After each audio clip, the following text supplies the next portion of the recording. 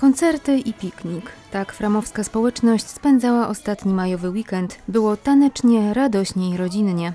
Koncertowo-piknikowe zakończenie maja zostało przygotowane z myślą o przypadających na ten miesiąc świętach. Chcemy żyć w rodzinie. E, Mamy e, zbliżający się Dzień Dziecka, e, mieliśmy Dzień Mamy i nie zapominając o Panach, Dzień Ojca. Dzień w ogóle wszystkich, Dzień dobrych ludzi. Ja myślę, że, że to spotkanie, które tutaj dzisiaj sobie m, przygotowaliśmy, to jest, e, to jest właśnie dla rodzin, dla, e, dla mile spędzonego czasu, e, po to, żebyśmy e, wspólnie nie myśleli o tym, że jest źle dookoła nas, że też można się uśmiechnąć do siebie nawzajem. Podczas dwóch koncertów zaprezentowały się wszystkie taneczne grupy, począwszy od najmłodszych, początkujących tancerzy, skończywszy na tych, którzy na tej scenie czują się już jak ryby w wodzie.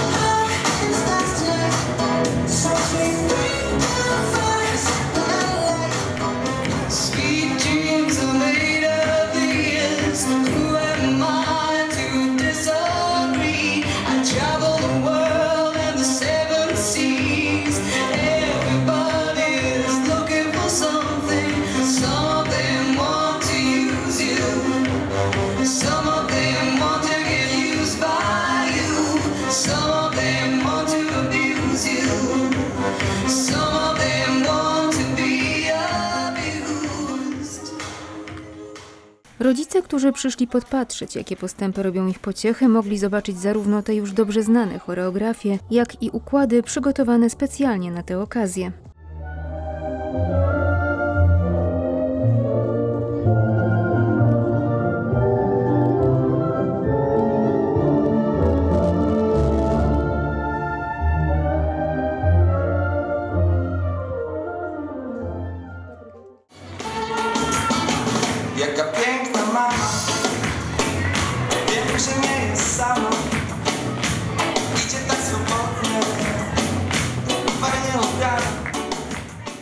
Wszystkie choreografie w połączeniu z muzyką zachwyciły publiczność. Wielu rodziców ze wzruszeniem i radością oklaskiwało młodych tancerzy. Mimo zbliżających się wakacji będą oni mogli cały czas doskonalić swoje taneczne umiejętności. Framwozownia będzie bowiem cały czas otwarta. Organizujemy warsztaty, e, warsztaty w Brzozowie, warsztaty taneczne, e, dość bogata oferta, na którą zapraszamy od 4 do 14 lipca, E, ale planujemy też tutaj zajęcia na miejscu na bieżąco przez całe wakacje. Jesteśmy domem otwartym, domem dla, dla wszystkich ludzi.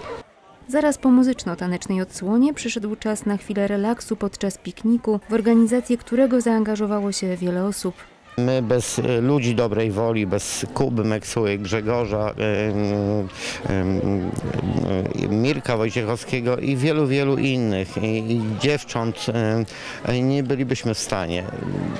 Po prostu są z nami dobrzy ludzie.